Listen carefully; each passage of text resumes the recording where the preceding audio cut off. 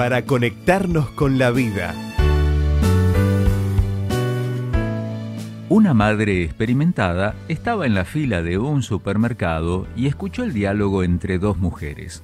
Una le decía a la otra, antes de ser mamá, viajá, disfrutá, descansá, porque después los hijos no te dejan hacer nada.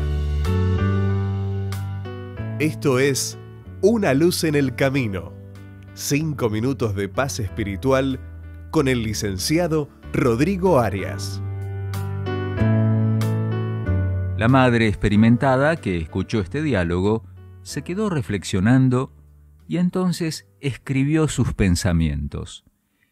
Y tiene razón, los hijos no te dejan hacer nada. No te dejan dormir, no te dejan bañarte, no te dejan comer despacio, eh, no, no te dejan comer.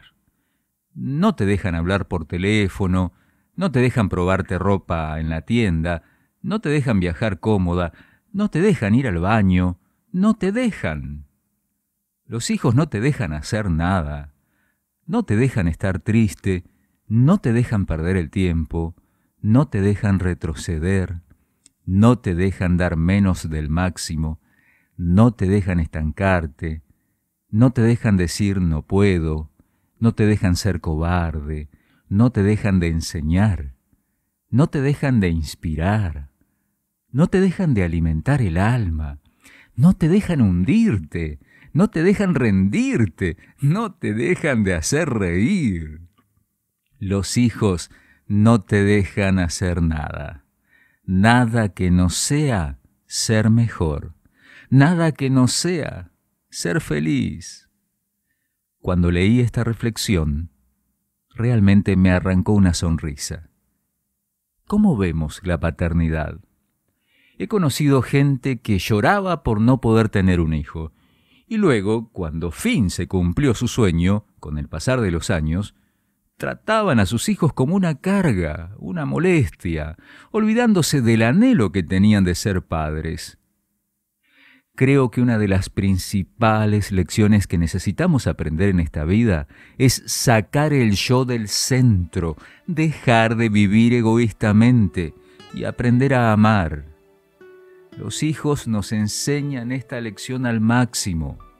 Son una bendición de Dios para elevarnos a un plano de existencia superior, donde descubrimos el amor más profundo, el amor que da sin medida, y en ese dar hay un gozo que te llena.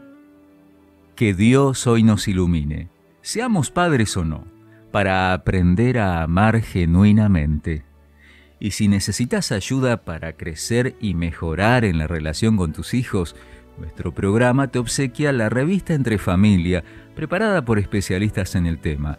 Podés solicitarla gratuitamente. Envíanos un WhatsApp al 1162 26 1229 o búscanos en Facebook como Una Luz en el Camino.